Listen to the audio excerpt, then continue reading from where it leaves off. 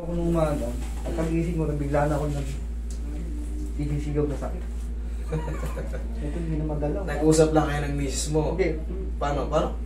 Nung gabi, hindi raw ako nakikikilas nung natutulog. Sabi ng misis mo. Mm. Tapos pagising ko rin ng madaling araw, bigla na lang naghihiyaw na ako sa sakit. Oh, Ito parehas na- kayo nun. Ito na iniinda ko. Pares kayo nun. Siya naman, umattend daw ng birthday, tapos kumain ng konti, umuwi, naglakad-lakad, natulog. Mga 11.30 raw, ah, grabe na raw ang sakit. Hindi na raw may kilos. Sa'yo, ganun din, hindi na may kilos. Hindi, ito naman, ang ganyan lang siya. Okay, tamo, wala na, lakas. Hindi na siya makalat na naman. Ilang araw lang yan? Nung ano po, Monday po yata nung last week. Oh, diabetic ka ba? Hindi. Hindi po. O hindi ka pa nagpapacheck? Hindi ba? hindi pa pala eh. Tapos masakit din din po yung dito ko. Pag tsaka tsaka pag umuubo ko, masakit din yung dito. Hindi naman po masakit. Sige, ingat mo. Ito lang. Masakit yan.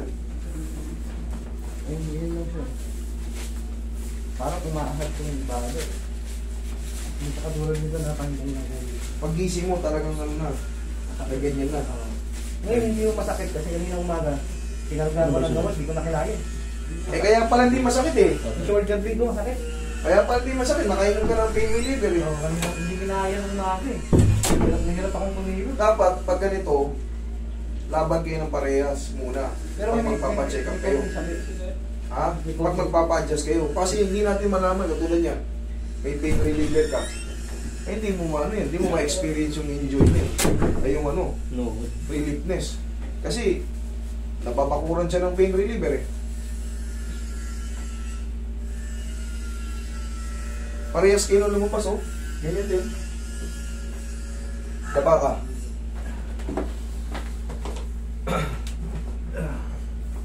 Ilan na lang ba yung nasa labas? Roy. Sige. Sinabihan ko na sila.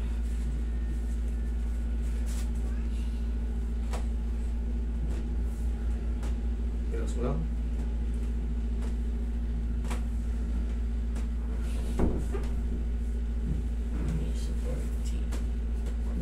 Okay. Roy, to.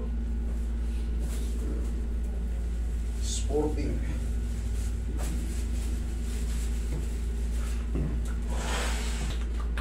Ka. Yeah.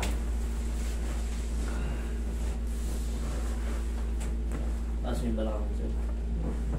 Pero tatlong araw hanggang limang araw tapos na to. Back to ano ka na. Back to normal ka na. Okay.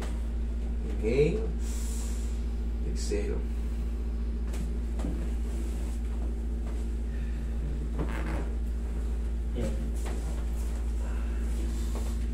Ito na yung pinakamasarap na bahagi. Kaya ko ka. Master, di bang kilong lakas ng loob ng dala ko? Eh di, aanin natin. Hindi kaya na 10 kilo. Tatansyahin natin. Ito na. Limang kilo lang daw ang dala niya eh. Hindi yan natin. Kasi napapanood ko lang eh, 10 kilo dapat eh. i-balance muna natin. Bawasan natin yung timbang. Massage muna natin para hindi sobrang sakit. Para kakayanin yan. Ito kasi yung mga naggaganto, yung mga biglaang frozen shoulder. Grabe ang kirot nito. Oh, grabe. Ibig sabihin ko, yung biglaang maga na nakaipit sa joint. Biglaang maga. Kaya sobrang sakit. Kita mo, iya, gusto niya mang iangat. Kaso, wala talagang power. Tsaka ito master, hindi ko siya magano. Ganyan lang siya. Kaya susubukan natin yan. Pag nasabukan na natin itong final, dalawang pektos lang to. Yan. Ito naman yung isa.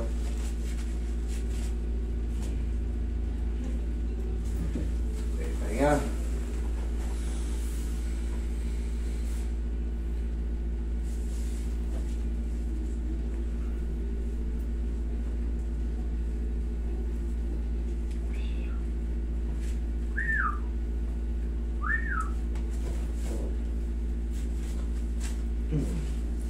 Angat. Ah, ganito. Tulungan muna ng ganito. ng ganito. Sige, angat. Yan. Okay, baba. Ganito mo, tol. Ganito ang exercise niyan. Ah, tayo ko. Okay.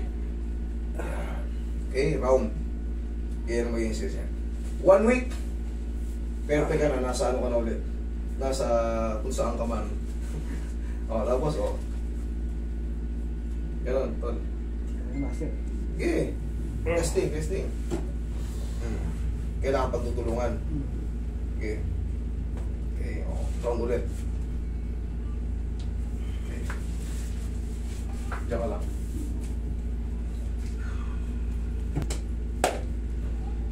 Dire-diretso na yan, wala na sumasabit.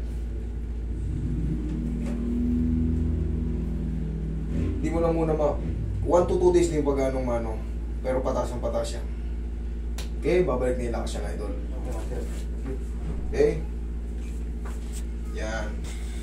Bawal maligo, master. no? Sumingaw na, tapos na. Makakat mo na yun. Malakas na agad eh. Okay? Salamat po, salamat.